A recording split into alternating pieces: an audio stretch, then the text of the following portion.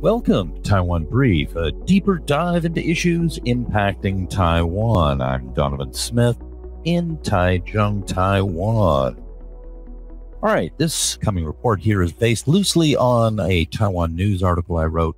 Chen Shih-chung puzzles press over Taipei mayor run, Lin grins and ducks. But as always, I've thrown in some more insights and things that didn't make it to the article.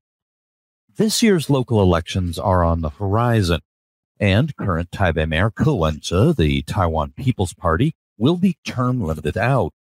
The Taipei-based political writers, Taipei-based prognosticators, Taipei-based pollsters, and Taipei-based television talk shows are flooding the Taipei-based media with discussions on who will be the candidates for mayor of Kaohsiung.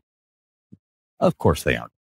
They are, as usual, obsessing on the Taipei mayoral race because their world end where the MRT don't run, if that far. Though none of the parties have formally nominated any candidates, the assumption is that Wayne Chiang Wan-an will represent the KMT and Huang Shanshan, the Taiwan People's Party.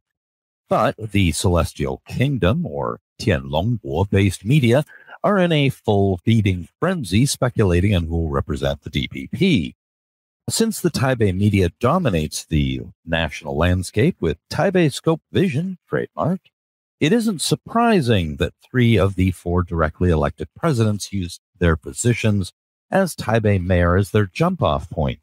And two of the three previously directly elected mayors in the modern era went on to the presidency. Poor former mayor Hao Longbin must be crying in his imported baijiu. Whether those of us outside of Taipei like it or not, whoever wins as Taipei mayor is going to be foisted upon us as a national figure and will likely be of major importance to Taiwan's future. However, Hao was waterlooed in Keelung and a disastrous camp KMT race all but exiled him to Taiping Island politically. So, who will be the DPP's standard bearer in Taipei? Now, media speculation and pollsters have all been focusing on two potential candidates, though a third just entered the picture. But for now, let's start with these two. Minister of Health and Welfare and concurrently head of the Central Epidemic Command Center, Chen Shih-chung, and former Transport Minister and Taichung Mayor Lin Chia-lung.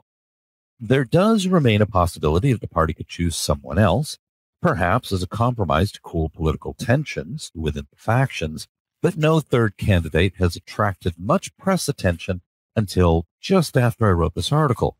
Chen is being cryptic on whether he plans to run or not, perhaps for his own amusement at watching the press go into conniptions at his every utterance on the subject.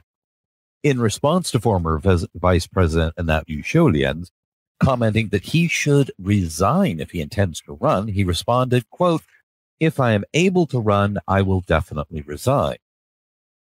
Then he went on to make more contradictory comments, which even seemed to include his nodding in affirmation as if he were running, but meanwhile his mouth was sending mixed signals. Are you confused?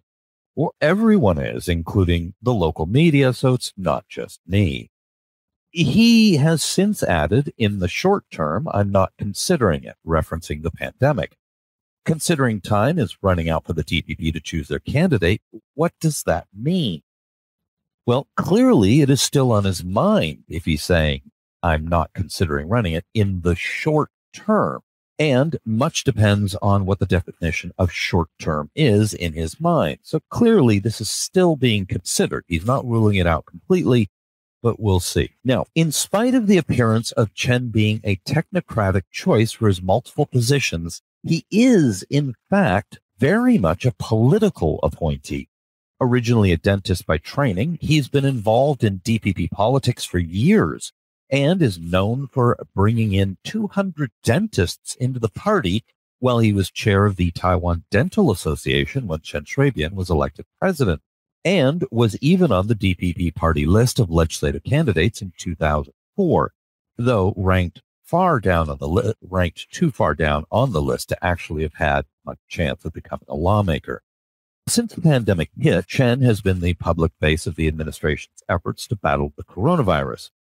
Though he has his detractors, most of the public credits him with making Taiwan one of the world's best in handling the pandemic. Chen as a candidate is a mixed bag.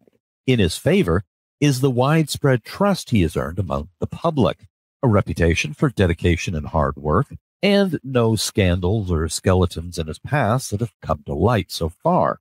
Taiwan also has a particular penchant for electing people from the medical profession, including the current vice president, the previous vice president, the current Taipei mayor, and even the winner of the Taichung 2 by election earlier this year. On the other hand, he is as charismatic and warm as a tray of dentist tools. He speaks in a droning monotone, and in spite of being a member of our species, there appears to be no photogenic evidence of a capacity for a warm smile. If you try Googling Chen Shih-chung, the best that comes up are some self satisfied half smiles. Now, Lin Chia-lung, by contrast, is all grins. He is warm, enthusiastic, likable, and engaging, if at times coming across a bit lacking in substance, which, by the way, is something that I can confirm from meeting him multiple times personally. But like Chen hasn't given much of a clear answer on whether he intends to run, vaguely punting the question back to the party decision making process, at least formally. However, he has finally come out and said he's not going to run for Taichung mayor. He's also said that the DPP hasn't seriously chosen a candidate for Taipei mayor in 24 years obviously referring to former Taipei Mayor Chen Shui-bian. This, however, is a serious slap at the DPP leadership who chose the candidates and Premier Su Tseng-chang, who might take issue with this statement considering he ran for Taipei mayor in 2010. Like Chen Shih-chung, he's a mixed bag as a potential candidate. His engagement in politics started as a student activist in the 1980s showing considerable courage against authoritarianism, and his charismatic ability to motivate people has been evident ever since. On the other hand, he has a serious problem with trains, specifically with disasters and death related to them. Early in his term as Taichung mayor, there was a collapse during the construction of the MRT line that left four dead, and the most recent train disaster last April that left 51 dead which led to his resignation as transport minister. How much responsibility was his in either of those cases is debatable, but he would be hit hard with them during any political campaign he may want to undertake. He also doesn't have a great record at the ballot box, including having failed to win re-election as Taichung mayor after one term. In spite of the fact that opinion polling at the time suggested most Taichung residents assumed he would win re-election, even in polls that showed more support for Lu, Lu Shiow-yen. However, the 2018 Han wave swept him out. He also remains a potential candidate for Taichung mayor, but now he's denying that. When he lost in 2018, he pledged to keep his residents registered there and established a nonprofit foundation in the city. So I guess he's not coming home. In terms of polling, both trail presumptive KMT candidate Wayne Chiang, with Chen trailing by 6% in a three way matchup and Lin by 11, according to a recent ET Today poll. Reportedly, however, they are evenly matched in internal DPP polling, but of course, none of us have actually seen that polling. This has just been something reported on. However, and I've alluded to this earlier, there is a dark horse in all of this former Vice President Chien-jen, who quietly joined the DPP two months ago at President Tsai's urging. He's also from the medical profession, and as I noted, there's a penchant here for electing people from that profession. And a recent poll actually showed him with a slightly more support than Chen Shih-chung, though only barely, just over 1%. If there is any indication he actually has any interest in the post, I'll update you more on him, but so far there isn't any. He's kind of a keep in the background kind of figure. He's fairly old and he stepped down as vice president when Tsai ran for a second term. He doesn't seem to have much ambition, but well, we'll see. Now, another complicating factor in choosing the mayoral candidate is internal DPP politics. Chen apparently has the support of the Tsai Ing-wen faction, Yingxi, in the party. Lin has the backing of the pithily named Taiwan Normal Country Promotion Association, or TNCPA, which in Chinese is normally called the Zhengguo Hui, which is a little more pithy. But the biggest faction, New Tide, or Xin Liu, reportedly may prefer Chen take on Hou Yu-ih in the new Taipei mayoral race up there. Good luck with that. During Tsai Ing-wen's reign as DPP chair, she has done a remarkable job at keeping the factions fairly quiet by carefully apportioning positions to keep their relative power in balance. But with her presidency and presumably her time as party chair heading towards a lame duck period, the factions appear to be jockeying once again for supremacy in advance of the post Tsai era. Now, interestingly, after I wrote this, there was a slew of articles that came out in the local media, basically this same point. So there's a lot of interest right now, once again, and some of the headlines referred to things like Wan Do, which is basically chaotic infighting.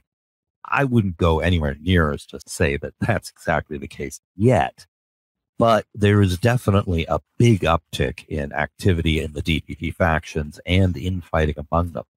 Mostly right now, we're talking about city council seats, which is not on the high level, but that's there. And definitely this is something you're going to probably be hearing more from me about in upcoming shows.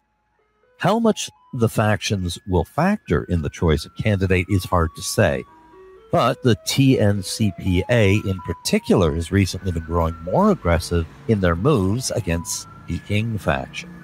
All right, tune in for some more shows. We've got some more coming up pretty soon. And of course, be sure to tune in next time and, you know, hit all those likes and subscribe buttons and all that fun stuff. All right, until next time, I'm Donovan Smith in Taichung. This has been brought to you by the Taiwan Report. For more content like this, become our patron at report.tw. 还有就是那个台湾狗啦，最喜欢我的台湾狗了。